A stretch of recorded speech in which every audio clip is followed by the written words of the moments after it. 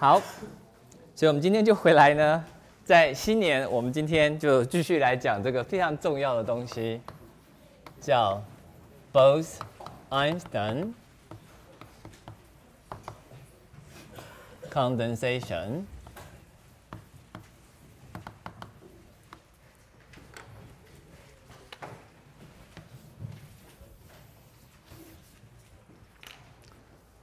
好。那我们今天到底要讲什么呢？那稍稍就是说复习一下我们去年讲的东西。我们去年讲了一个最重要的东西是 macroscopic occupation。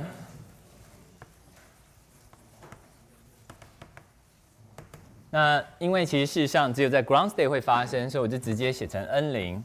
那 n 零的定义基本上是这个样：n 零的定义是 limit。v 趋近无限大，one over v，OK。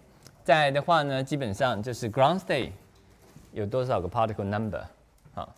那这个的话，因为太常写了，所以它有比较简单的一个写法。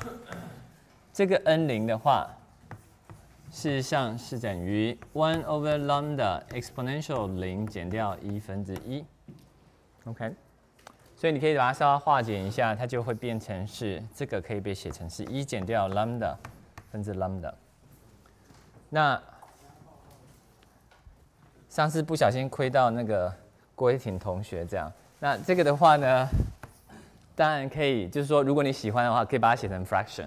事实上是我自己也习惯性会把它写成 fraction。所以意思就是说，这个是 n 零，所以你可以在后面除以一个 n，然后再乘上一个 n。那写成 fraction 的好处是，其实你就知道你自己在干嘛了啊。因为当我今天说我把 v 趋近无限大，事实上我是把 n 也趋近无限大。那两个东西趋近无限大的时候，其实事实上你是 holding something constant。那在这里的话，事实上你是把 n 跟 v holding constant，所以它事实上是这一个。所以这一个极限可以被改写成是 limit n 趋近无限大，OK，one over n。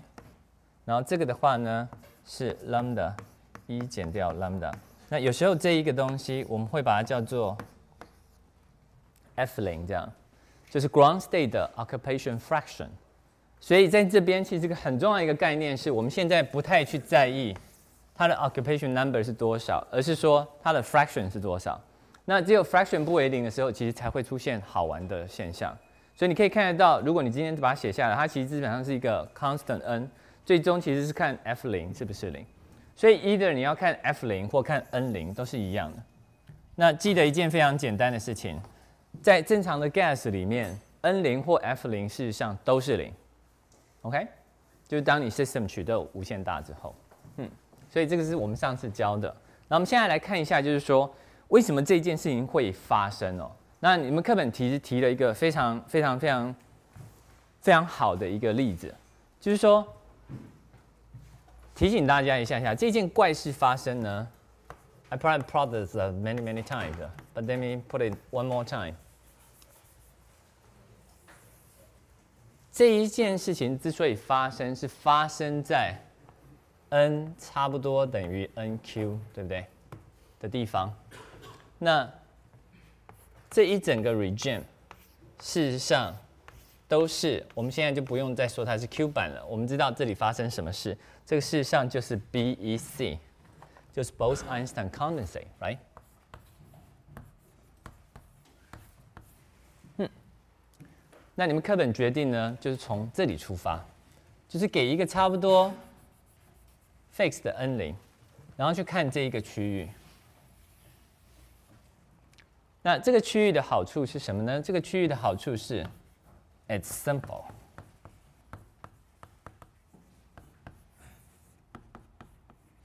OK，所以非常有利于教学。可是如果你是立志要做物理学家的话，你要记得一件事情，就对一个物理现象，其实你不见得是要在最简单的地方去了解它，你应该在什么你应该在最最关键的地方去了解它，对不对？所以呢，其实事实上真正关键的地方是在这里。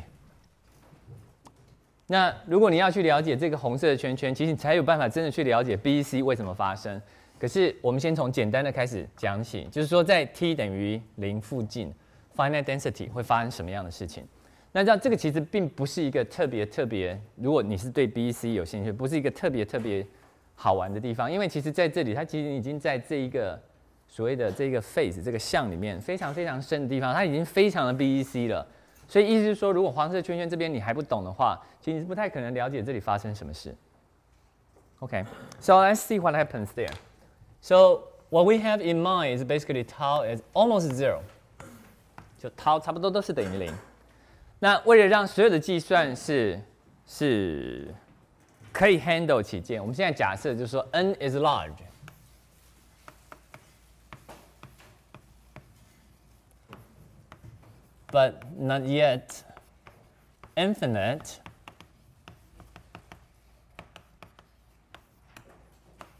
OK，所以就是 n 很大。那 in some sense v 是 macroscopic。 那在这个状况底下，我们来看一下，就是最后会发生什么事。OK，所以第一件事情是这个样子，我们可以先去看一下，就是说 ground state 的 mu 是长什么样的。那在这边，如果你今天可以稍稍想象一下，在 tau 差不多是零的时候，其实 n 跟 n 零事实上是差不多的。所以，那我们知道 n 事实上是可以被写成是 summation s one over lambda exponential，OK。再来的话呢是 ground state，或者说本来是 epsilon s tree tau 减掉一分之一，对不对？可是因为我们现在知道，在 tau 差不多趋近零的时候，其实所有的 particle 几乎都是在 lowest orbital。所以这一个 summation 基本上呢，只要去包含最低最低能阶就好了。那如果是最低最低能阶的话，它其实事实上你可以假设它其实差不多就是零。所以这个东西就是 one over lambda 再减掉一分之一。OK，那你可以把它倒过来，所以你就会得到 one over n。那在这边的话呢，就会差不多等于什么？就会差不多等于 one over lambda 减掉一。所以这个是你从非常非常简单，就是说，almost all particles 啊，are basically sitting on the lowest orbital。这是在 tau 差不多等于零的状况底下，你就会得到这样的一个关系式。那这个关系当然可以直接很容易解过去，你就把它直接加过去，然后再把它倒过来就好了。所以这个加过去之后，你就会得到 one over lambda 等于 one over n 再加上一，或许 equal to n 分之 n 加一。所以你就会得到 lambda 其实差不多等于 n 加一分之 n。那如果你有兴趣的话呢，这个当然可以被展开成一减掉 n 分之一。这个是你在这里学到非常非常重要的一件事情，就是。事实上，lambda 是非常非常逼近什么？非常非常逼近一的。那我们知道 lambda 等于一的时候，事实上你的 Bose function 就会变成 singular。可是 lambda 其实是非常接近一，可是不是一。所以在这边你会发现 lambda 是一减掉一个 infinitesimal。这里的 infinitesimal 多好，这里 infinitesimal quantitative 就告诉你，它其实事实上就是一除以 n，非常的简单。那一除以 n 是不是非常像一个 infinitesimal？Yes。因为 n typically 是十的二十三次方，所以一除以 n 就是十的负二十三次方。十的负二十三次方在物理学上基本上是一个非常非常小的 number。And in this place, it plays the role of infinitesimal. So that's something pretty cute. 所以这是第一件事。那其实你如果对这个就是有点不太放心，你真的就想要去看一下，说不行，我对 lambda 还是呃就是不太熟悉，我一定要把它写成 mu 的话，那你可以反过来再去看 mu。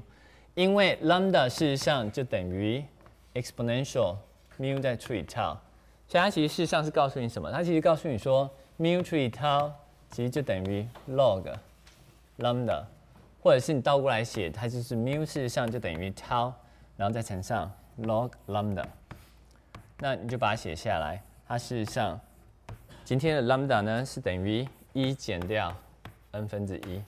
那因为是 log 一减掉 n 分之一，所以你直接把它展开就好了。log 一加 x 就是 x，所以 log 一减 x 当然就是负 x。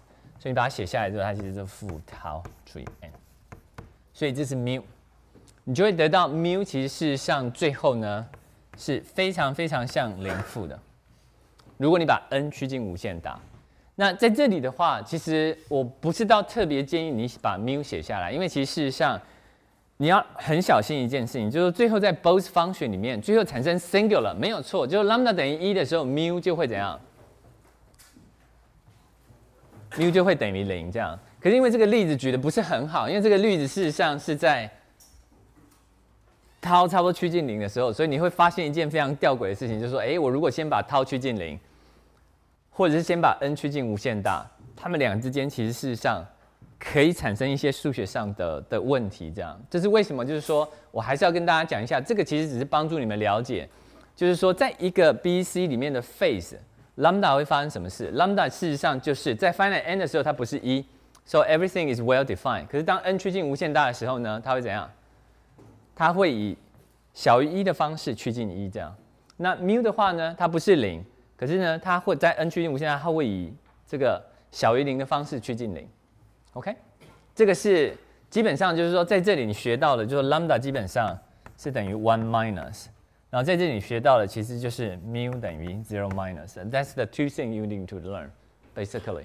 可是在这边，因为其实它牵扯到，你可以先把 tau 趋近零，或把 n 趋近无限大，它其实还是可以有数学极限上的一些问题。那我只能在这里就是直接跟你保证，就是说，这个是因为这个例子不是到完美，OK，这背后没有任何意义，啊，意思就是说，你事实上不需要把涛趋近零这样。其实整件事情最重要是在这里发生的，所以其实你只要，比如说你把你的例子举在这里就好了，比如说就一个 Kelvin 会发生什么事就好了。OK，那这个从这里应该学到一件事情，就是说 lambda 的确是可以非常非常靠近一的。那那件事情跟它非常逼近零温是没有关联的。那因为你其实我本来是完全想要跳过这个例子，可是因为你们课本很快乐的花一整页讲，那你们总是会读到这样。那这是比较罕见，说我觉得你们课本举的例子有点隐喻失意，这样就是。嘿，这个是有点典型的，就是为了让它变很简单，所以可以造成困扰这样。所以我还是要跟大家强调一件事情：BEC 是发生在 finite temperature，它跟零温是没有关联的。零温是可以产生一些怪异的事情，可是那件事情跟 B C 无关。这样 B C 不是因为零温产生的效应。到我们今天上完之后，你有一个非常简单的图像之后，then you will understand。OK？B C 之所以发生，不是因为零温，纯粹是因为 particle。之间发生的一些事情，这样，嗯，好，有没有什么问题？By the way，我印了十份讲义，这样，所以如果你们有问题的话，我就把讲义送你们。啊哈，可是你拿过了，你还要问问题吗？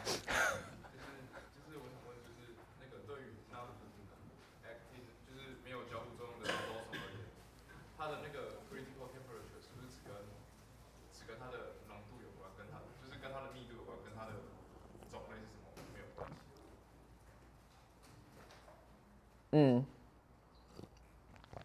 如果大家还记得的话，critical temperature 就是说我上次其实有跟大家偷偷讲一下，它事实上是 n 等于二点六一二 nq 这样，这个 nq 会跟 m 有关，nq 的定义会跟 m 有关，所以不同，即使是 non-reacting boson，它其实只要质量不一样，它们的 condensation temperature 是不一样的，哦。那你从这边可以算得出来，就说这个东西事实上是 nq，如果你把它写下来的话，它其实是等于 m 超除以二派 h 八平方的二分之三次方。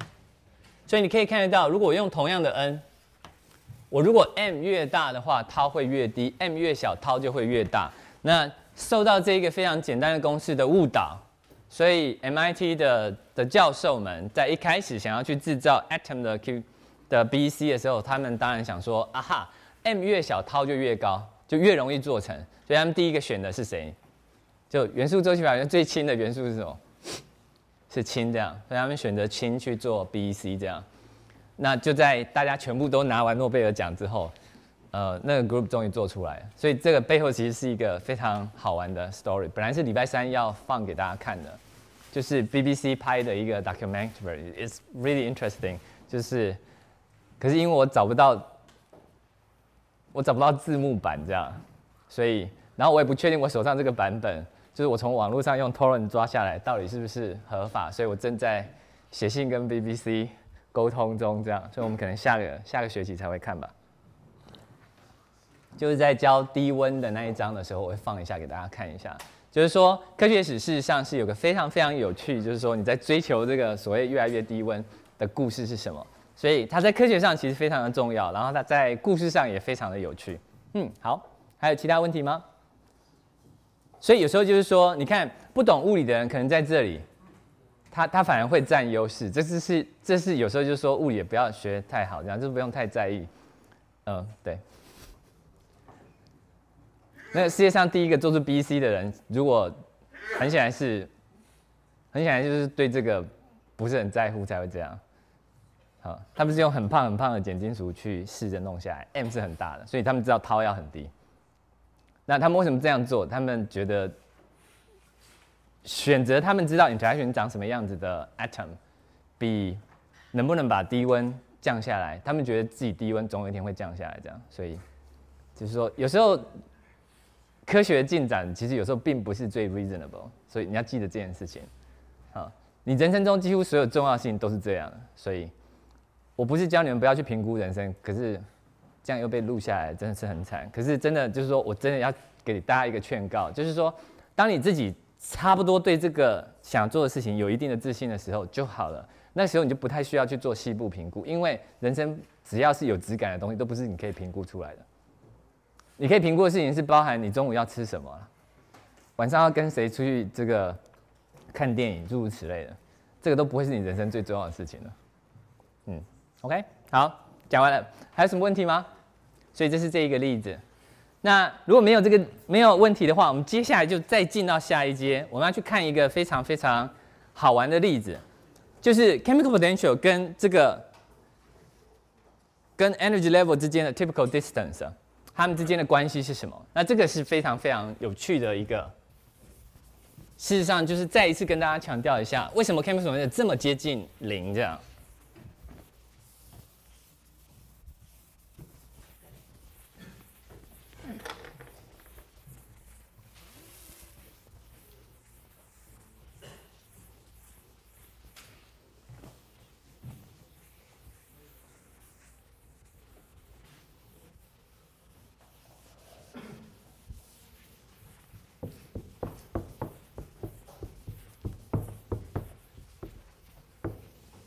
好，所以我们接下来要看的一个系统，基本上是说，这个是我的 ground state，比如说它的能量是一零，然后呢，这个是 excited state，能量是一 one，OK，所以这是最低的 lowest orbital，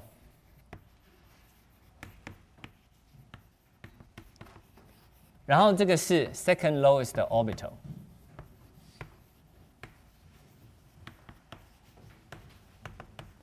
那因为这个可能有 degeneracy，所以它不一定是一个，不过没有关系。所以典型上来讲呢，这个东西会有一个小小的 gap，这个 gap 你待会会看到，其实是非常非常小。那我们现在想要去看的是另外一件好玩的事情，就是说 ground state 为什么这么的特别？如果你今天系统非常非常非常非常大的时候，你可以想象这个 ground state 跟它上面，就是说 lowest orbital 跟 second lowest orbital 这两个 orbital 之间的 energy difference 事实上是非常非常小的。那如果这里会发生事情，为什么上面一点就不会发生事情？整个 trick 是这样，整个 trick 是说，这个虽然很小，可是 mu 跟一零之间的距离，比 delta 跟一万之间的距离来的怎样？更小。这个就是我们待会要证明的事情，就是一零减掉 mu 除以一万减掉。对不起，一零这个值，你待会会看到它是远远小于一的。所以绕口令来讲的话，就是 chemical potential 接近最低的 orbital 的程度，事实上是非常非常非常小于这个第一个 orbital 跟第二个 orbital 之间的能系。那这个为什么很 surprising？就是说，你其实事实上是要把数值算出来，你才会觉得说，哎，这件事情真的非常有趣。所以为了让我们整个计算 very being very concrete，我现在先做一件事，我们先来定义一下我的系统。所以我的系统其实就跟刚刚是一样。假设今天我有一个 ideal 的 Bose gas，好吧？然后呢，它的 volume 其实就是 L 的三次方，是 finite 的。然后这里面呢，反正你待会我们只是算 orbital 啦，所以其实就跟那无关。反正假设比如说你把它放 n 个 particle，那因为我只是要算最低最低的 orbital，我们知道最低的 orbital，因为 E S 事实上是等于 h bar 平方除以二 m。再来的话呢，事实上是 n 平方派平方除以 L 平方。那这里的 n 平方呢，事实上是等于 n x 平方加上 n y 平方加上 n z 的平方。所以我知道 lowest orbital 它对应到的是什么？lowest orbital 对应到就是 n x n y n z，事实上是等于一一一，就是最低的。OK。那 second lowest orbitals，它事实上呢有好多个，所以它可以对应到的是二一一，或者是一二一，或者是一一二，OK。所以事实上是有三个。那我们现在就来看一下这之间的距离是多少。那基本上你这个一一一的话，就是我定义成一零。你把它带进去的话，它其实是一的平方加一的平方加一的平方，你平方把它加在一起之后，它其实就是 h bar 平方派平方除以二 m l 平方，再来的话就是一的平方加上一的平方加上一的平方，OK，再来的话是一 one，那这个反正三个都一样，所以我只要算其中一个就好了，OK，是 h 八平方派平方。就是二的平方加上一的平方加上一的平方，所以你可以看到它们事实上是同一个 order。你也可以看得到，如果今天我就是 naive 把 v 趋近无限大的话，一零会趋近多少？如果今天在这就是很夸张的，先把就是 L 趋近无限大，因为 v 趋近无限大，你会发现这趋近零。就 L 趋近无限大，你也会发现这个趋近零。所以你现在就是知道说，在这里就是你数学要稍微好一点，你不能乱取极限，你要先把答案算出来之后才能取极限。如果你在算到一半的时候就取极限，那你最后这最后算完就是非常 trivial。你会发现说，一零跟一万，哎，就是叠在一起啊；mu 跟一零，哎，就是叠在一起啊。所以他们三个是怎样，就是相亲相爱，全部都叠在一起啊。三个都叠在一起，有谁说谁比谁靠近吗？所以你如果是这样做，你就完了。啊，好，那接下来算这个东西其实只是非常简单，所以你就把所有的 number 带进去，好不好？那你就带完出来之后，delta 一。define as a e one minus e zero，这算出来之后有多小？这算出来之后呢，差不多就等于 Kb Boltzmann constant 乘上十的负十八 Kelvin。OK。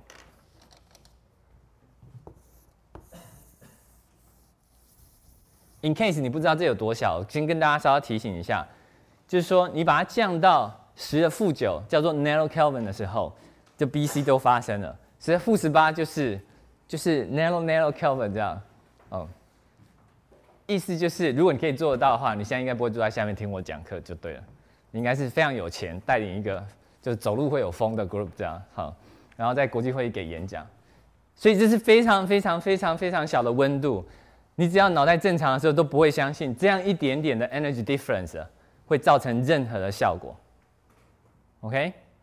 啊，可是如果你脑袋跟爱因斯坦一样不正常的话，那爱因斯坦根本这辈子从来没有这样想过，所以他不会不会被这个吓到。这样，爱因斯坦从来没有把这个东西的 number 带进去，然后说，嗯，这个这么小，所以不可能有差别。这样，哈，OK。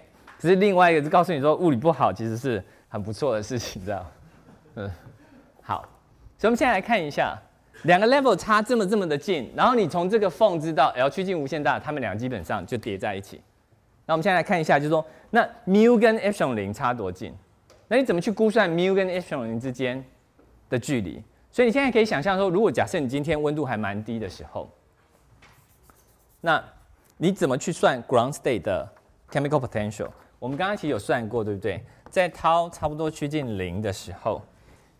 Mu 在这里事实上是等于阿肖零，OK，再减掉 tau 除以 n，所以它事实上是等于阿肖零，然后再减掉，对不起，kb 再乘上十的负二十六 Kelvin。所以在这边的话呢，我带进去的其实是 mu 差不多是零。In case you are interested, as a tau equal to kb times one millikelvin, which is pretty small。然后另外一个的话呢，我带的是 n 等于十的二十三次方。好，那你不用太担心所有的这些数值在，其实这些数值你在课本上也都可以找得到。可是我想要 highlight，其实只跟大家讲一下 mu 零跟一零有多靠近。我们其实上一个例子才讲过，当 t 非常非常小的时候，它其实基本上就是等于负的什么 tau 除以 n。那 tau 如果是一个 millikelvin，n 是十的负二十二十三次方，你把它带进去之后呢，你会发现 mu 跟 epsilon 之间的差别就是这么小。OK，那我们接下来算一个非常有趣的事情，我们现在来看一下，就是说如果今天很好奇，因为我知道 mu 了嘛，so in principle I can calculate everything。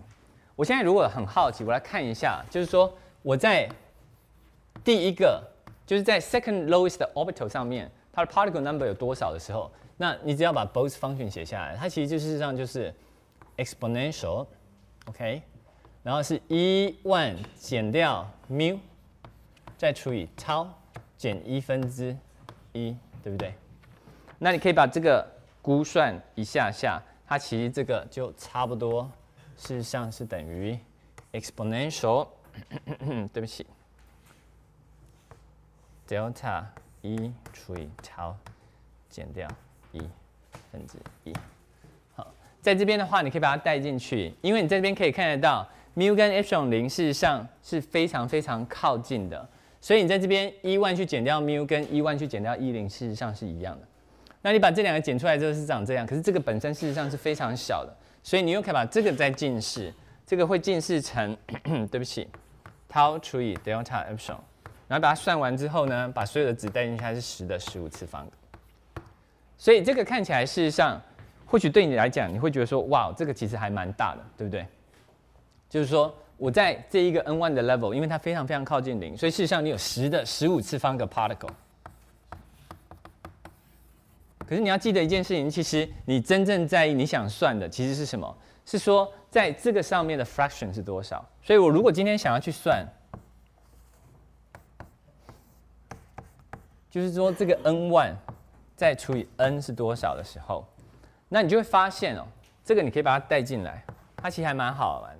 这个 n 万除以 tau，不对起，n 万除以 n，对不对？那可是因为我知道 n 万其实差不多是 tau 除以 delta epsilon。所以你可以把它写成是 tau 除以 n，然后再乘上 delta epsilon。可是 tau 除以 n 刚好是什么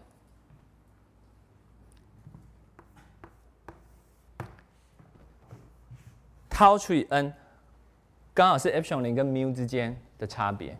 所以呢，你可以把分子写成 epsilon 减掉 mu，下面呢就是一万减掉一零。那这个数字你自己可以算出来，也就是 pretty trivial。那这个算出来之后呢？其实是等于十的负八，这个是整个计算漂亮的地方。整个计算告诉你什么事？整个计算告诉你说，没有错。虽然 delta 一在 thermodynamic limit v 趋近无限大的时候，它也逼近零，可是，在同样的极限底下，mu 跟 epsilon 零呢，它也会逼近零。两个都逼近零，你可以问一下，就是谁比较小？答案是它比较小。它比较大，那典型上来讲，就是小多小，我你可以看得出来，就是小十的负八。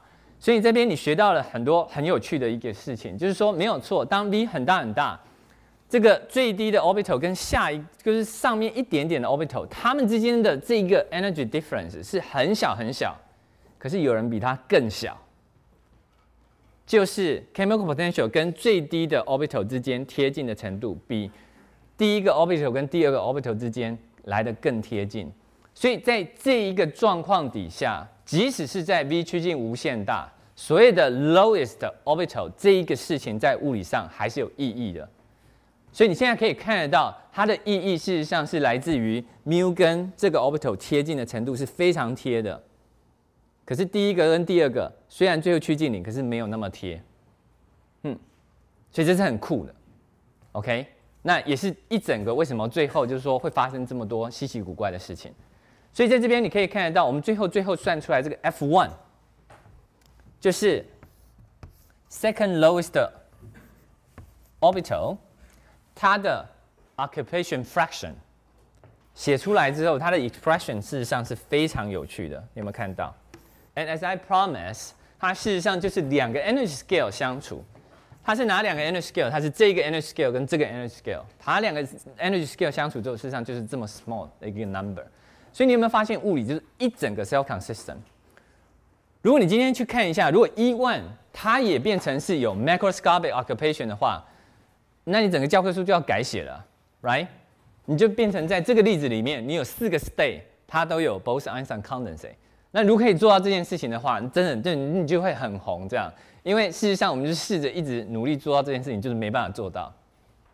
如果你可以让这件事情发生的话，它会有很多非常有趣的现象。OK，but it hasn't happened yet。那原因其实就是在于这个除上这个的比例，事实上就是我在那边估算一样。可你反过来看，它就是非常 self consistent。我们现在想要去看的就是说，所有 particle 全部都掉到 lowest orbital 会发生什么事？那如果所有的 orbital 全部所有的 particle 都掉到 lowest orbital，那你在其他 orbital 其实就应该怎样？它的 fraction 就不应该是很大。OK？那在那个状况底下，的确没有错，你可以看得到，它的确就是 fraction 就是很小。So this whole thing is actually self-consistent。所以在这边，你现在应该定量上可以去理解整个 Bose-Einstein condensation 发生的状况是什么。如果以能阶来看，它其实就是这样一个漂亮的特性，就是虽然最后这些这些能阶都会随着 v 越来越大，都会全部都跌回来一零这边，可是呢，mu 更靠近一零。好，这是从能量的角度来看。那如果从零温的角度来看的话，你就可以看到，事实上 lambda It's a very beautiful realization of one minus，也就是它是比一小一点点，小多少就小 one over n。那 mu 的话呢，就差不多是零，那是多接近零？它事实上就是负的 tau 再除以 n。所以在某一个程度上，其实在这边你可以很漂亮的去看，就是说你可以把 one over n。当成是你在这个问题里面的 infinitesimal，它不是零，嗯，可是它非常非常趋近零，所以你必须要算到你想要算的答案之后，再取极限，才会得到有意义的结果，嗯，所以这是这一部分定性的描述，不知道大家有什么问题？所以这一类的描述事实上就是从低温出发，试着去了解在 B、C 里面发生什么事情。嗯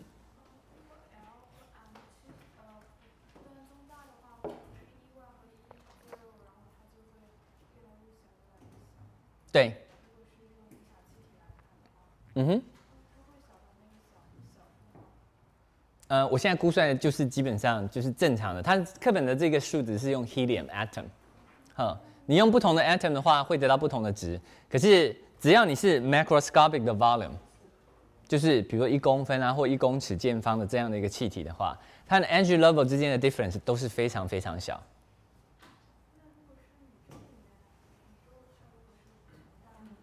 嗯嗯，啊哈，说的很好，就是说，如果今天在整个宇宙里面这样一个大的系统，我们有一个三号达成热平衡的一个状态的话，那这个 argument 是不是要重新被 estimate？答案是对的，啊，可是即使是在那个 limit 底下，你最后 estimate 出来的结论还是一样的，你可以回去算一下。如果你是把全宇宙所有的三号某一种波 n 算进来，然后这一个 density 不是趋近零哦，是 finite 的时候，这整个 argument 会对的。你可以回去自己看一下，就是说 finite density 这件事情，事实上是整件事情最后为什么跑到这边来的原因。这样，那这可是 in reality，在全宇宙里面它发生的事情是，第一就是我们到目前为止，就是除了 microwave 的 radiation 以外。并没有一个特别，就是全宇宙都达成热平衡的现象。OK，就说宇宙虽然很大，it's a pretty nice playground for thermal physics，可是它其实几乎每个区块都不是热平衡。And we should be thankful for that, right？就是在地球上，如果我们这一点点温度升高什么什么，就很担心。如果我们今天整个太阳系达成热平衡，大家都完蛋了。你知道太阳系温度有多有多低吗？或者是说你知道整个太阳系的能量有多低吗？所以，right? So that's a really important assumption that you cannot approximate. 所以基本上就是说那样的问题虽然有趣，可是目前除了光子以外还没有这件事情。那光子刚好也是最最简单的，所以在光子 case 里面的确就看到这个 background 的 radiation。Yeah, so that's actually right. 嗯，OK，很好的问题，还有没有其他的问题？ 你们在算热物的时候，其实像这一类的问题，其实就是非常非常重要。就是说，当你会试着把热物的原理换到不同的系统去，其实你会得到很多很有趣的现象。就像说，你们热物其实已经学到这了，你们比如说就可以回去，像刚才除了宇宙这个问题，你可以反过来问嘛，就是我们的体温差不多都是三十几度，对不对？为什么？为什么？Right？为什么我们的体温不是比如说一百二十五度？所以每一个人都很热血沸腾，这样。Why why can we be like that？那这个问题最简单最简单的答案当然就是说啊就不是嘛，你去量它就是三十几度，不然你要怎么样？那如果量出来不是三十几度，那你就不是人这样。那这一类是非常粗暴的生物学家回答科学问题的方式，就是告诉你说啊量出来就是这样，不然你怎么样？你如果不是这样，那你就死了，不然你就是外星人。那你既然看起来也不像外星人，你也没有像死的样子，所以你就是这样。那这一类的东西，其实事实上是，我我觉得其实事实上是会把很多重要的科学问题给盖掉。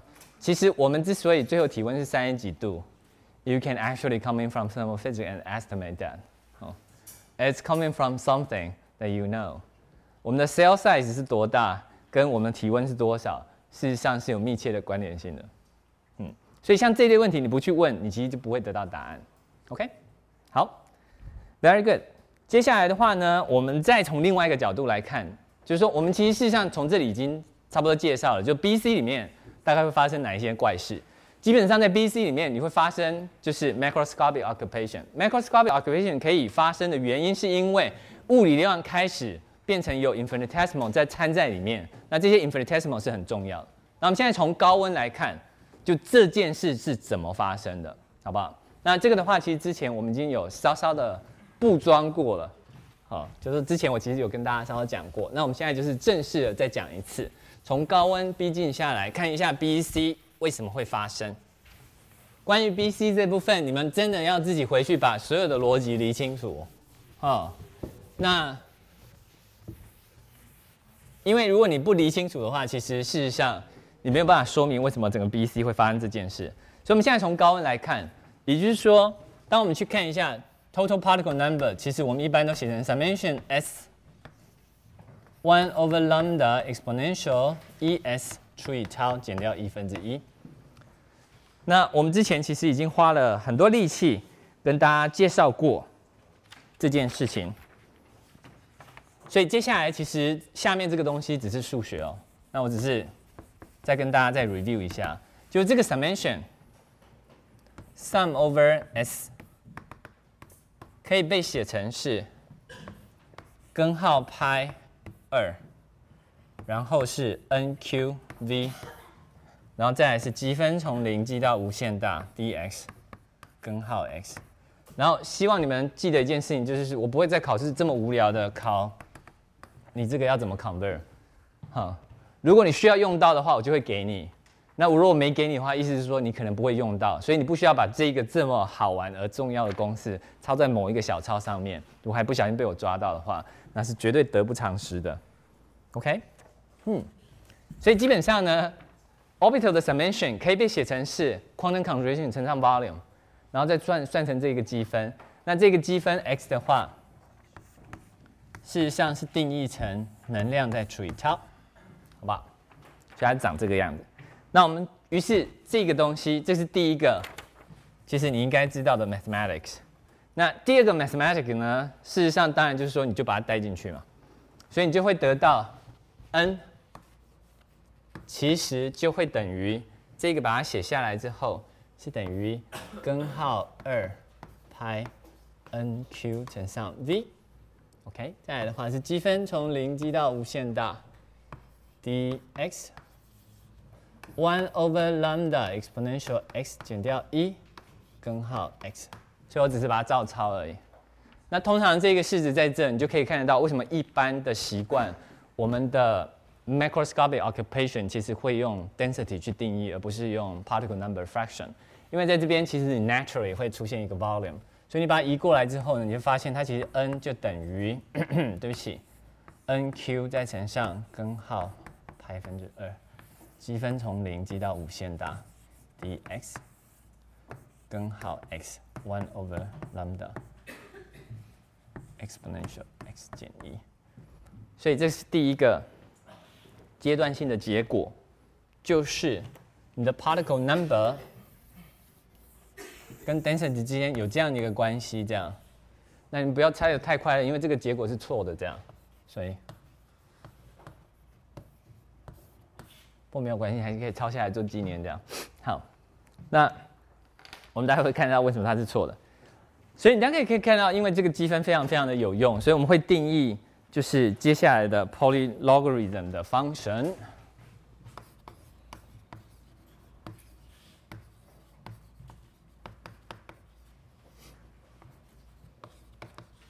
那 polylogarithm 在这边，比如说你把它写成 g nu z 好了，它其实事实上是定义成 summation n 等于一到无限大 n 的 new 次方 z 的 n 次方，也就是它是等于一的 new 次方分之 z 加上二的 new 次方 z 平方加上三的 new 次方 z 三方加上点点点点，OK。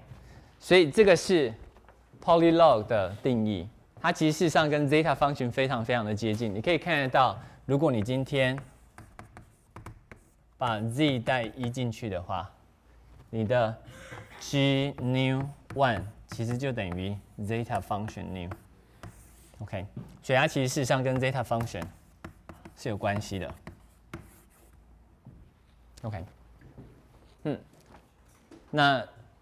因为其实接下来只是非常 straightforward 的数学，就是说这个东西事实上等你们稍微年纪大一点的时候，你就知道它可以被展开。它级数展开之后呢，刚好就是 exactly 等于这一个级数哦，所以你会得到就是积分从零积到无限大，dx x 的 new 减一次方，one over lambda exponential x 减一，它其实事实上就等于 gamma new，然后再来的话是 g new lambda。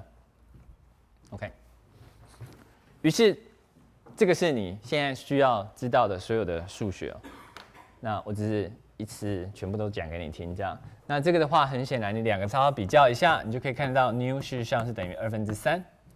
那如果你有兴趣的话，其实你可以对 Fermion 做一模一样的事情，你会发现其实 Fermion 得出来的结果也是类似，只是就是这一个 variable 最后得出来会有个负的 g 二分之三负 lambda 这样。嗯。所以这个是之前我们就是讲过，那我是在这边再跟大家复习一次。那我们接下来就来看一下逻辑上的问题，就是说这样的一个计算到底有什么问题？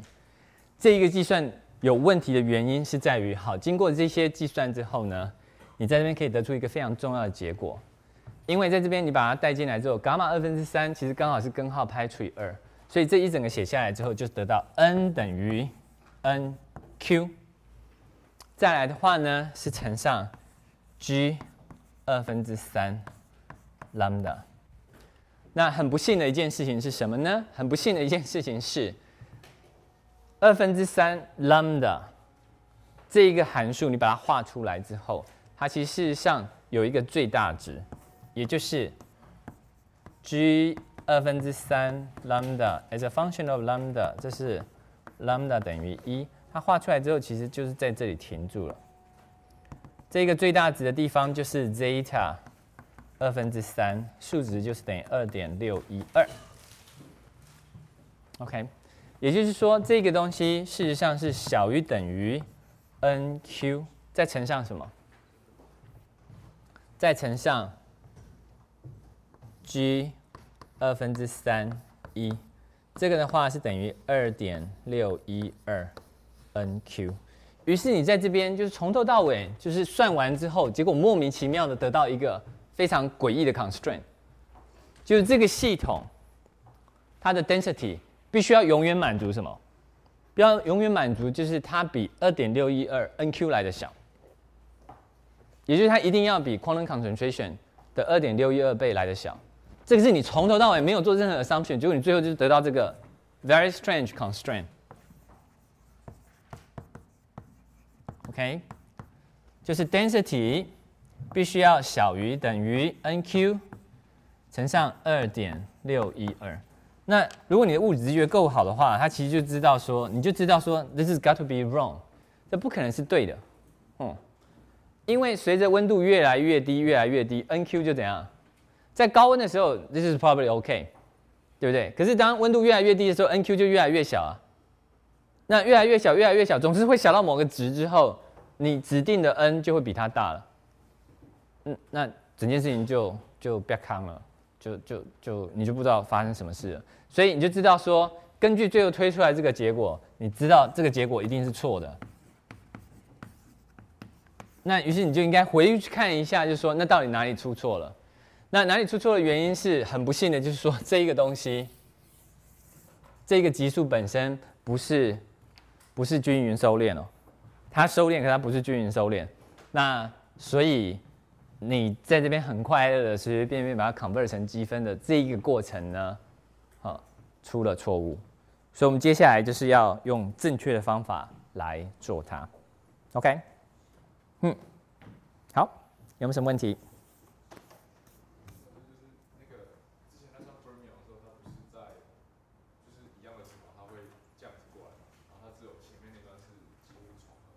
对。那就是那这样的话，康登瑞变是在它分开很明显的时候就已经发生了，还是还是要在合并的时候比较？嗯，OK，这是很好的问题。这样，就是如果你今天事实上去看 boson 跟 fermion 的时候呢，先不要管 B、C 的话，你会得到 for n 事实上是等于 NQ，然后再乘上 G 二分之三 lambda。对 fermion 来讲的话，n 事实上是等于负的 nqg 二分之三负 lambda。那如果今天我把 lambda 做图，对不对？那我去画 g 二分之三 lambda 跟负的 g 二分之三负 lambda，你会发现一个图画出来，就是长得像 boson 这个 case，它在。lambda 等于一的地方就是这个样子，然后就到这里。可是如果你去画 boson，你去画 fermion 的话呢，它事实上是这个样的。OK，就一直上升。好，那所以你可以知道说，哎，在这一个 region 是我们所谓的 classical。那至于就是说脱离到什么样的程度才叫做是 quantum，我要这个其实真的就是见仁见智。啊对于 boson 而言，这个界定是非常非常简单的，因为它有个非选择选，所以就算你再乐观，你都不能说把有 BEC 叫做 classical 的 ideal gas，对不对？那可是事实上是，即使是没有在 condensation temperature，你即使是比那个高，其实那个时候那个东西也不能完全被 classical gas 描述这样。可对 fermion 而言，整个界限就非常的模糊了，因为 fermion 就是真的是。从 quantum gas 慢慢的不像，最后变成 classical ideal gas，那一整串就是连续的，那你就很难去定义什么，什么叫做 exactly classical 跟 quantum 的 region。所以通常一般来讲，我们就不太跟这个就是唱反调。我们通常就直接切一个非常简单的东西，就是叫做一个非常神奇的字，就是只有物理学家懂的，叫 order one，对不对？就是说，只要这个是在 order one 以下啊，这叫 classical gas；只要在 order one 以上，就叫 quantum gas。这样，那 order one 是什么？order one 呢，就跟你个人的个性跟乐观程度有关。好，order one 可以是千分之一，也可以是两万。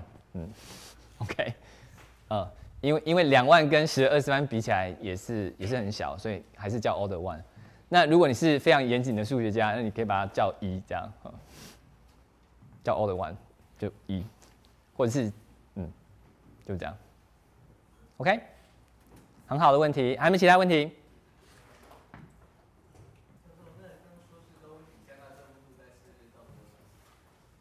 那要看你是什么样的的 guess。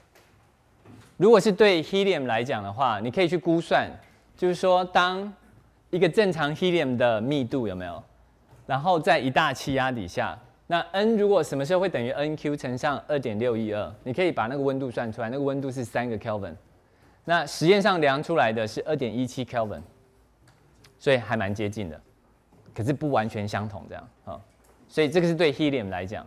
那对于其他不同的的 gas system 的话，他们都会不一样。哎，那一般现在你如果是典型上对于一般的 BC 的话，你要降到非常非常的低温，基本上你要到 nano Kelvin 左右这样。哦，所以那差可以差很多，可以差非常非常多。嗯，所以就是在这边，其实你们要真的就是回去把，就是说你至少其实回去真的要很认真的把 helium 算过一次。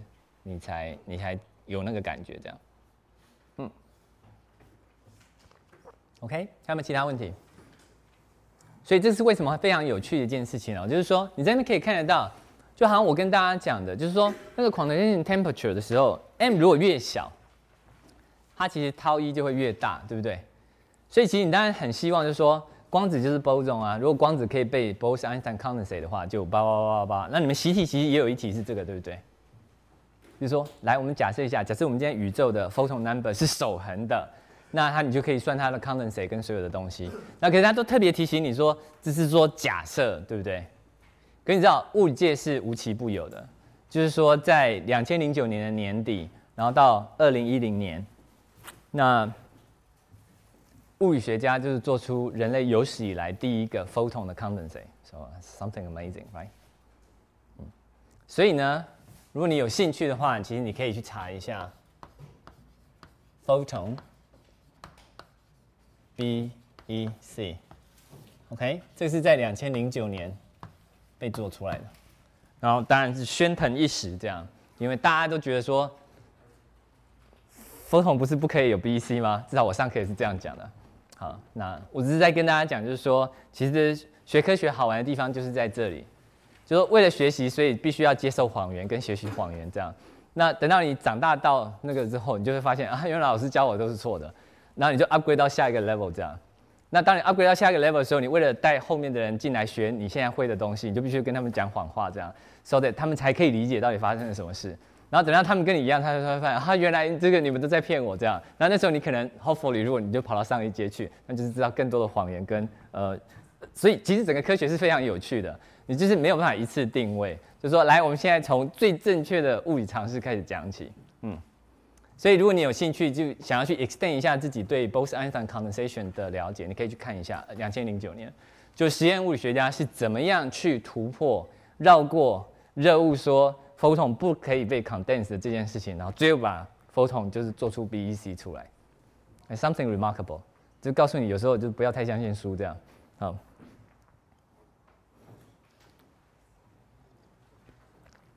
好，那我们接下来就来看一下，我们怎么去修正这一件事情。之所以这件事情会错的原因，事实上是因为 n 零其实不等于零，这样。那我们怎么去做这件事情？我们做的办法是这个样子的，从这里出发。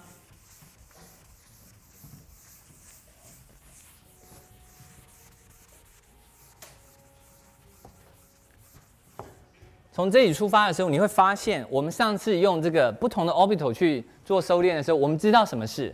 我们知道这个其实基本上是等于 n 零加上 n 一加上 n 二，这样一直加上去，对不对？我是 symbolic，就是说这是最低的，然后这是次低的。那当然，因为次低有三个，所以你就 n 一、n 二、n 三，比如都是一样的。它这样一直上去。可是他们在 v 趋近无限大的时候，其实收敛的状况是不太一样，因为我们知道这个在非常非常低温。的时候，它其实最后是收敛到什么？收敛到 n，可是其实后面这一整块，他们是什么？他们是阿斗们这样，他们最后就收敛到零。所以你可以知道说，其实这两个的 trend 其实是不一样的。那如果你对这件事情还不是很了解的话，真的就是说你可以，哎，对我忘了，不是每个人都有 notes，就是我们上一堂课有有给大家看过，就是说一个非常简单，为什么特别画出来给大家看？就是你看大家其实都是往下掉，只有一个往上升这样。所以在这里一个非常简单，或者说数学上你可以去避免掉这样的一个困扰的方法是什么？就是把 n 零写下来，然后呢把后面这个 s 就是变成是只有不等于零的。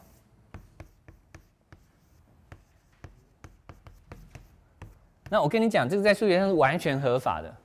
数学上，如果一个级数最后变成一个积分，然后它是收敛，然后不会有任何问题的话，你说我偷偷把一项偷出来，会发生什么事？答案是不会发生什么事啊。你在做积分的时候，我突然跟你讲说，那个函数上面少要一个点，会发生什么事吗？答案是不会发生什么事，除非什么？除非那里是就是上面发生怪事，比如上面刚好有个 delta function，你把那一点拿掉，那 delta function 就被被扫积了，right？所以一定是那里有 singularity 才会发生这件事情。那在这里的话，事实上就是在一等于零的时候，刚好有一个 delta function，好。那因为你年纪还小，所以让我们不要用这么先进的方式去教这样。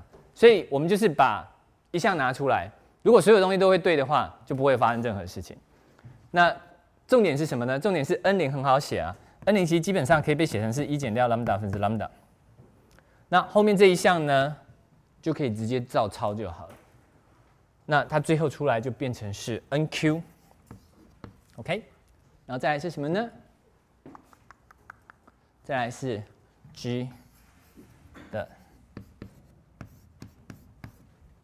所以我们的公式呢就稍稍的，哎，对不起，我少写了一个，因为这是 n 这样，所以这个写完之后还要再乘上一个 volume，我导出来的是小 n 是这个，嗯，好，所以我们就得到这个式子。那这个式子的话，就可以让我们快乐的写一下下。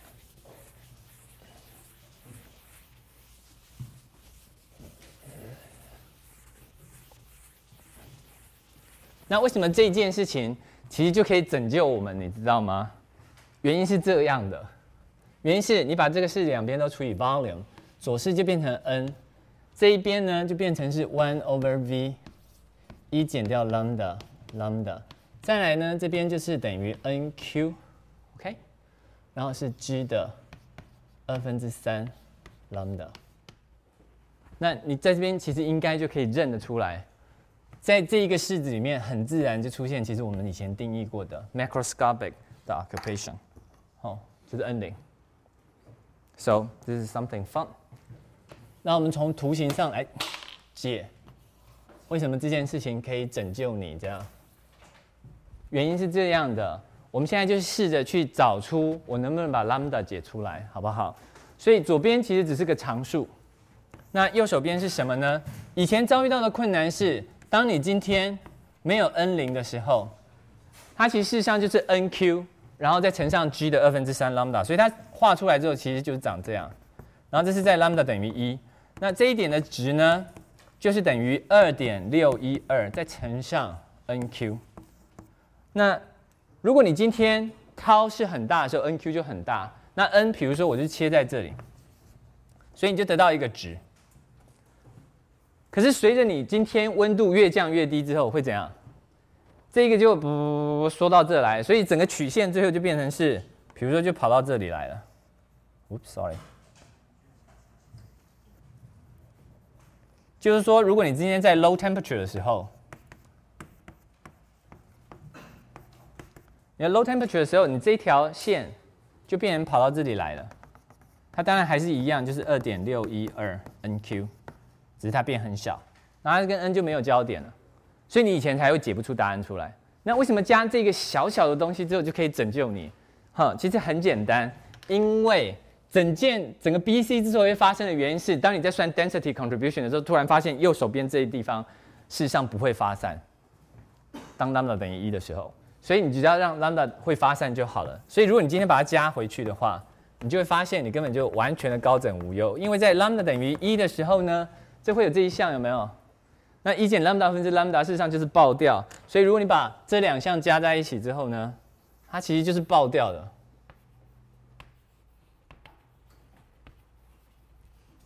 所以你根本不管你的 n 是多少，这样，there's always a solution lambda。那只是因为它是这样爆掉，所以当你就是 v 非常非常非常大的时候，你这个最后算出来这个值就非常非常非常靠近一，跟你永远有值。所以在这边得到一个非常重要的结论，就是如果你把这个值算出来之后，你先做一件事，你先把 v 趋近无限大，你就得到我们刚才画的被我擦掉的那个 box 了。你如果算出这个公式出来，有没有？你说，哎，来，我来取 thermodynamic limit，那这一项是多少？这项是变零了。所以整个的 trick 就是说，如果你其实不知道该怎么办的时候，你就是暂时把 v 变成就是 keep 在那里，n 呢也 keep 在那里，然后它们都很大，可是你不要让它们变无限大，那你最后出来的答案就会自然而然的告诉你会发生什么样的事情。OK？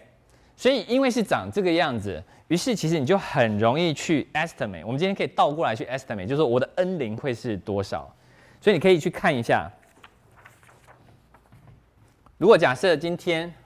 我掏大于，所以你可以看得到，如果今天是 tau 大于，我现在定义一个东西叫 tau c 好了，好不好？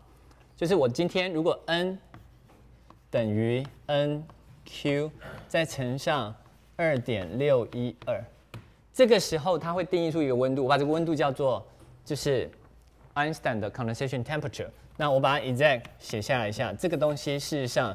n q 的话是等于 m 再乘上 tau Einstein 除以二派 h bar 平方二分之三次方再乘上二点六一二，所以你把这个除过来之后，你可以把 tau 一解出来。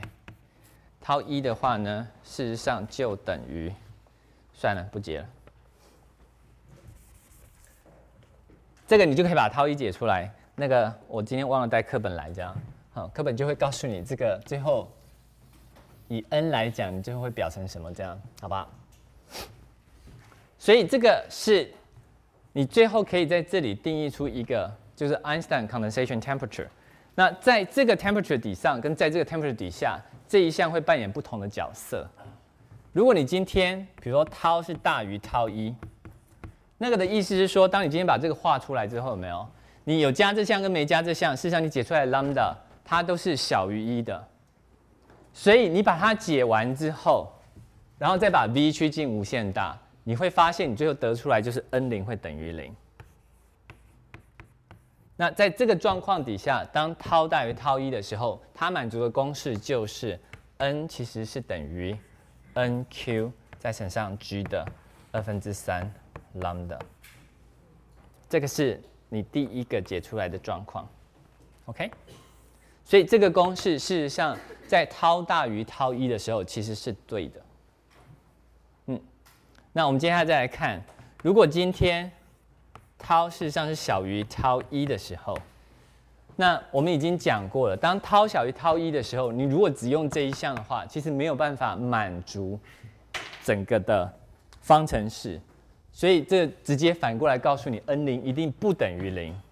那 n 零如果不等于零的话，你应该其实就可以把 n 零给解出来。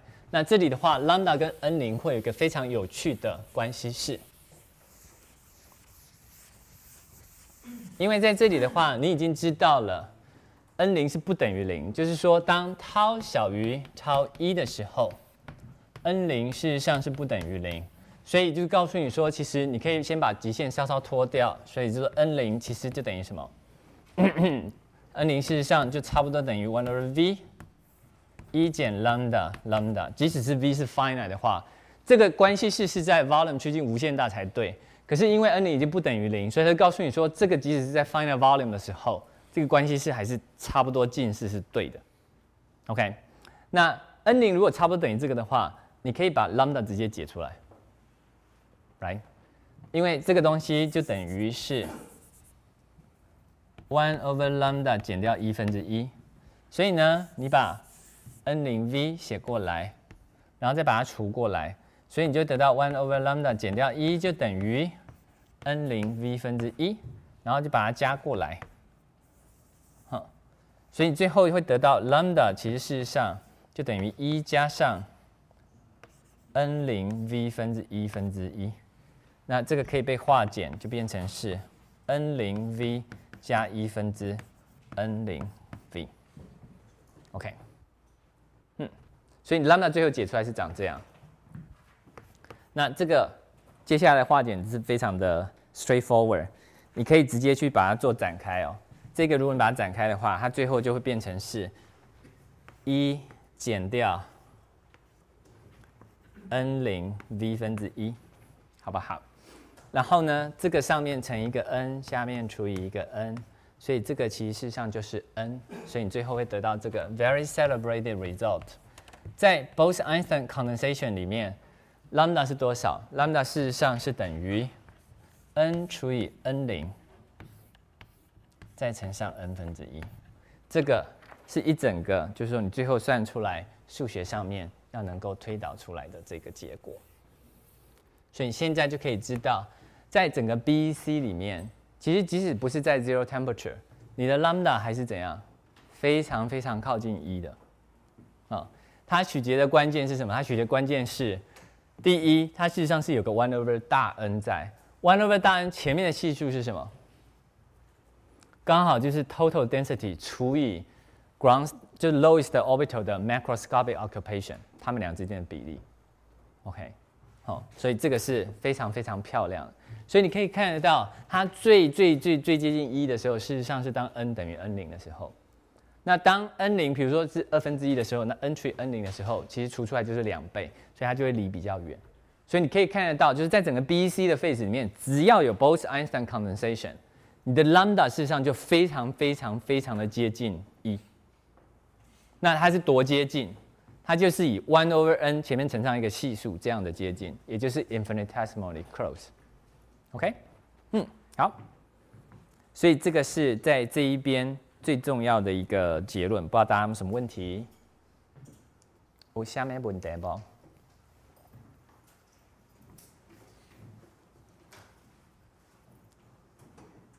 嗯，很好。那如果大家都没有问题的，最后其实就附赠一个非常简单的东西，就是说，那这个 n 零怎么随着 temperature 开始改变？那那个是很简单的。因为很显然在这里，其实你可能已经变成是对大部分的 particle 在干嘛比较没兴趣，对于 n 零在干嘛比较有兴趣。那我们知道，n 事实上就等于 n 零加上 n q。对不对？如果今天是 tau 小于 tau 一的时候，那在这里的话，这个 g 二分之三呢，就只要带一进去就好了。因为在 Bose-Einstein condensate 里面，对于所有的 excited 的 orbital，其实事实上它的 lambda 带一或者是 infinitesimal 其实没差的，唯一会 singular 的地方已经被我抽出来了，所以你可以直接把它带进去。那这件事情就告诉你说，n 零。事实上是等于什么？是等于 n 减掉 n q g 的二分之三再乘上一。那你可以把 n 提出来，它就变成是一减掉 n q 除以 n 再乘上什么？乘上二点六一二。OK。那可是这个很好算，n q 除以 n 其实最后算出来之后。你知道这个反应是 dimensionless，然后 n q 除以 n，然后二点六一二。当这两个相等的时候，是发生什么事？当 n q 乘上二点六一二等于 n 的时候，就是 exactly 发生什么事？就是当 tau 等于 tau 一的时候，对不对？所以你自己回家可以用简单的代数。那这一个 n q。本身呢，它是等于，对不起，m tau 除以二派 h bar 平方的二分之三次方，所以这里有 tau 的二分之三次方，它就告诉你说这一整项最后算完之后，一定是等于 tau 除以 tau 一的二分之三次方，所以你把其他地方再照抄，再变一减掉这个，再乘上 total density 就等于 n 零，OK，所以这个是你一旦知道 n 零整个会存在之后。你其实不需要花任何代数，你就可以把这个算出来。那这个，again，then you will see that is actually self-consistent。为什么？因为当 tau 等于 tau 一的时候，这个就是一，一减掉一就是零。所以你知道呢，当温度从零那慢慢慢慢升高，升高到这个 Einstein condensation temperature 的时候呢，你就没有 n 零了。那当 tau 等于零的时候呢，那 n 零事实上就是 n that doesn't give you any singularity。所以如果你想要把它画出来的话呢，我们也可以把它画出来。它其实事实上在这边是 tau，这边是 n 零 as a function of tau。它其实从一开始，然后就这样的，然后最后就跑跑到这里来。所以在这里的话，这是 tau 一。所以在这个底下，它有 B、E、C，在这个之上，它事实上就是 normal，就是正常。好，所以你可以看得到，所有东西其实都还蛮漂亮，可以被解释的。那这个东西的话，其实它一整个落下来的趋势就是一减掉涛的二分之三次方，它是以涛的二分之三次方慢慢慢慢这样掉下来，这样，嗯。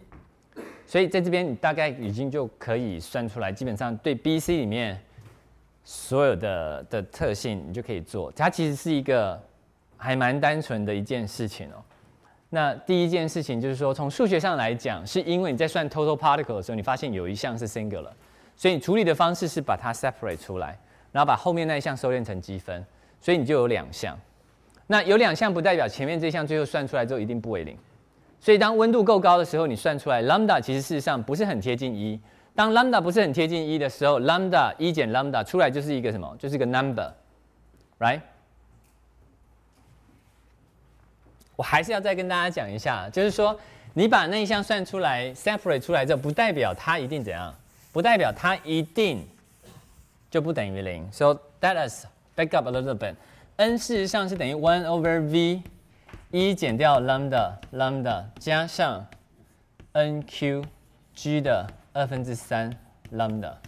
那我刚才其实已经把图画出来给大家看了，对不对？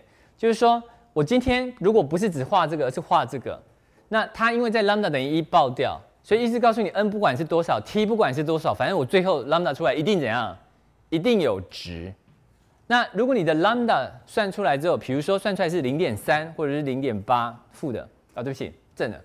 那是 mu，就 lambda 算出来，因为是介于零跟一之间，for both。假设你算出来是零点八或零点三或零点九，那你怎么知道这个会不会是会不会有值？其实很简单，只要 lambda 算出来，比如是零点九，那这一项是多少？这就是一减上零点九，然后这是零点九啊，这差不多多少？这是九啊，对不对？那这算出来是九之后，再乘上 one over v 取极限之后，最后是多少？那你说你不信？那你的 lambda 算出来如果是零点九九呢？如果 lambda 算出来是零点九九的话，这个是一减掉零点九九啊，然后这个是九十九啊，一减掉零点九九是多少？零点零一啊，然后你再乘上这个就是九十九啊，九十九之后再除 v，然后取极限还是多少？还是零啊？所以你会发现，其实虽然你很快乐把这一项分分离出来，有没有？lambda 只要解出来是一个正常物理学家可以接受，就是不是很靠近一的。所以不是很靠近一，就是零点九九九九后面跟着十个九都不叫很很靠近一。OK，这已经是非常靠近的定义了。即使是后面跟了一个零点九九九九九，你把它算完之后，那个 n 零最后出来是多少？也就是九九九九十个九而已，十个九是很小的，十个九除上 n 除除上 total 的 n 之后，最后是多少？就是零。所以你知道说整个 trick 是什么？整个 trick 是，如果你的 lambda 不是像这种这样的接近，而是不是寻常式的接近，而是非常非常的接近，是多么的接近呢？就是当你的 lambda 如果就是很变态的是，比如说我们刚刚讲的 n 除以 n 零这般的接近，你把它带进去之后，这个才是会是一个不等于零的值。所以你现在其实就知道，其实实质上数值上你真的最后会发生什么事。所以是那个温度以后，其实这一项它才会存在。OK，嗯，所以整个事实上就是取极限的问题。所以这是有关于 Bose-Einstein condensation，它为什么会发生，跟这两项什么时候会在，什么时候不会在。所以你可以看得到，其实只有当这一件事情发生的时候，这一项才不为零，这一项不为零，才会有 Bose-Einstein condensation。嗯。OK，所以基本上呢，B、C 里面最重要的东西我已经讲完了，大家有什么问题吗？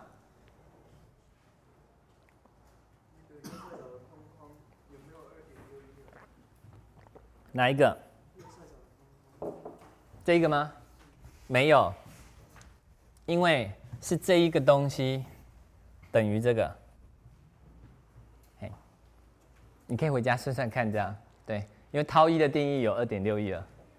嗯，OK。好，还有没有其他的问题？那最终最终的话，其实，呃，在这边，B、C 基本上其实我已经算完了。然后我最后其实只讲一个非常小的一个 limit，其实就是说这件事情到底是发生了什么事？它其实是在数学上面的一个，就是极限交换不相等的问题，这样。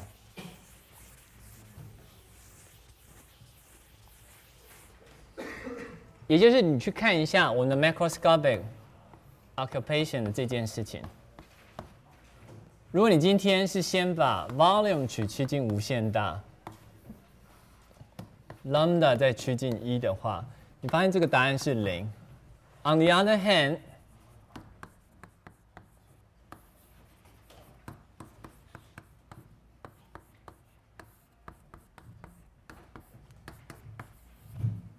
其实它一整个就是这一个漂亮的地方哦。我们现在就把 macroscopic 的 fraction 算下来。如果其实真的就是说，你不要困惑在这些有的没有的事情上面，你的数学其实非常的好。你可以直接一开始就说，我要知道有没有 Bose-Einstein condensation 是什么？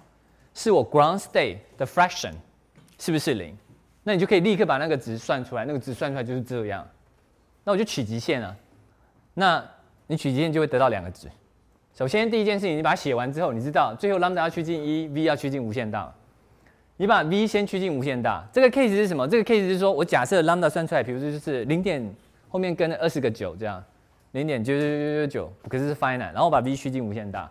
那我根本不管你那个算出来是多少啊，反正你这算出来只是一个 huge number，除上 one over v 趋近无限大，a huge number divided by infinity is zero，所以你就得到零，对不对？可是你可以倒过来，你可以说我不要，我先把 lambda 趋近一，然后我 v 呢就是先取什么？我取一个很巨大的 volume。你 v 取一个很巨大的 volume，前面这个 one over v 就变成什么？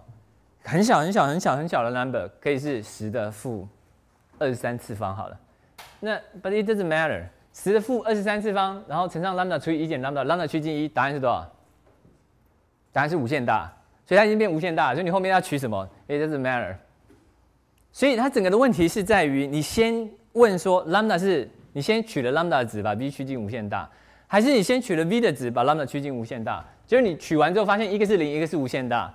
那如果你是数学家的话，通常你就会停在这里了，说啊哈，所以这个极限呃没有定义这样，嗯，end of the story。那可是我们是物理学家，这是量得到的。啊。那一的你就量到零，不然就量到无限大，是这样吗？不可能啊。所以你知道这个答案既不是零，也不是无限大，这样，那这答案是多少？这答案有两个，这样，所以这是很罕见的。你不能把两个答案，通常物理学家算到如果有两个答案，我们最常做的 trick 是什么？如果明天就要交报告了，你就是把什么两个答案加在一起除以二嘛，对不对？Right？那再进阶一点就是说什么？就说哦，有一半的机会是上面的答案，有另外一半机会是下面的答案，这是更进阶的。那这个是就是 bit 你这个物理学家乱乱搞数学的极限，这样。这个的正确答案是，当 tau 大于 tau 一的时候，这个极限我就不再写了，好不好？这个极限就是 one over v 一减掉 lambda lambda，事实上最后会趋近零，这样。那当 tau 小于 tau 一的时候，OK，one over v。一减掉 lambda 除以 lambda，它事实上是等于 n 零，它是一个不为零的数目字，